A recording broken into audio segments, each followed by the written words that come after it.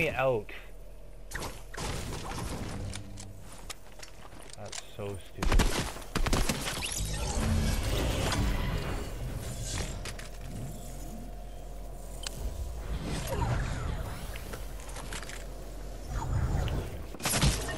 So dumb, yo.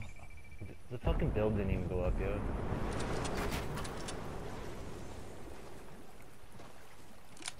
Sitting there third partying like a little bitch. Like, so annoying.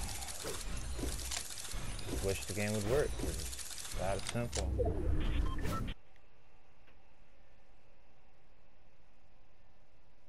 It's POS. It's like, it's not even worth a wish, you know? It's like, they've made so much money that they should just do it. It shouldn't be an issue.